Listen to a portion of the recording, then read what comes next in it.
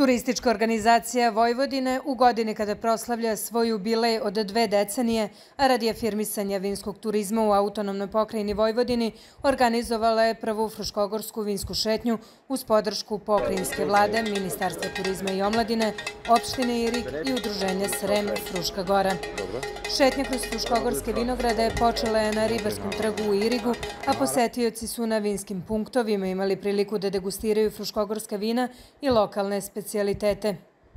Prošlogodišnja najavljena šetnja Fruška and Wine, odnosno Fruškogorska vinska šetnja, je ove godine malo ranije započela nego što smo prethodne godine to radili iz razloga što vinari sada su u berbi i želimo da i njima omogućimo da mogu da predstave svoje proizvode na najbolji mogući način. Da osim vinskog turizma koji je u Srbiji u ekspanziji, mi želimo da predstavimo, pošto veliki tim radi na ovom kompletnom događaju, mi želimo da predstavimo i manastire, dakle i segment verskog, segment seoskog turizma, a isto tako u najstarijem nacionalnom parku u Srbiji da omogućimo turistima da vide koje sve lepote ima naša pokrajina. Predsednik pokrajinske vlade Igor Mirović učestvovao je na prvoj Fruškogorskoj vinskoj šetnji Fruška and Wine 2023, istakavši da je reč o manifestaciji koja se organizuje sa ciljem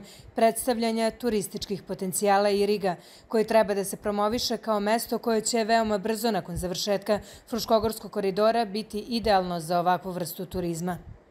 Ovo je prva manifestacija, ovo je nova manifestacija za Irig, za Srem, za čitavu našu zemlju. Verujem da ćemo je održati u budućnosti, jer, u, kao što je Nataša rekla, u jednoj manifestaciji želimo da predstavimo vinske potencijale, da razvijamo vinski turizam, da razvijamo i verski turizam, da razvijamo Irig i njegove potencijale, da usmerimo pažnju javnosti na Irig, na sve ono što Irig ima i da na taj način pomognemo i lokalnom razvoju Predsednik opštine Irig Tihomir Stojaković rekao je da je Irig 70. i 80. godina bio vinska prestonica te da lokalna samouprava uz podršku predsednika Republike i pokrajinske vlade čini sve da Irig ponovo bude centar vinskog turizma ne samo na Fruškoj gori.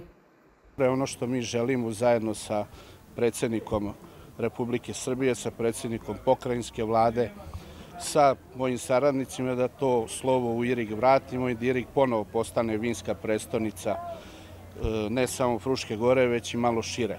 Danas smo se okupili ovde na šetnju dugu 6,5-7 km.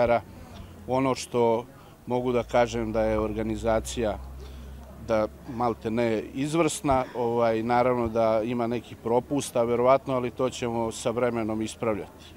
U šetnju više grupa učestvovalo je oko 300 učesnika manifestacije, najviše sa plaćenim vaučerima.